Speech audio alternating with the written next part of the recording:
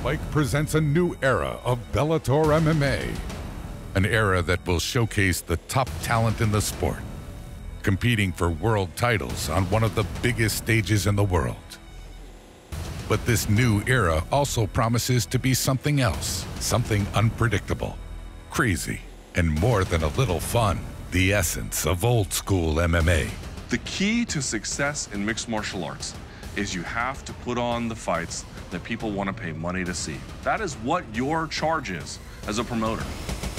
Oh! Why not put together two exciting fighters that will give you great action? Let's have some fun. When I think about Bellator, we already have some of the best fighters in the world. When I was doing Strikeforce, I said, I want the biggest fights I can put together, and I want to make these fights happen. And we did. And you know what? We're going to bring those fights here. When I walk into that tunnel, I'm not fighting, but I get nervous. I get butterflies. When the energy's there and the big fights are happening, there's nothing like it. That's what it's all about.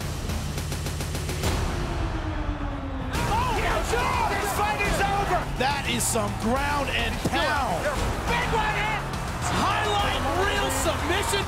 Body shot dropped him. Oh! Another fight I feel privileged to see, Sean. Privileged to call.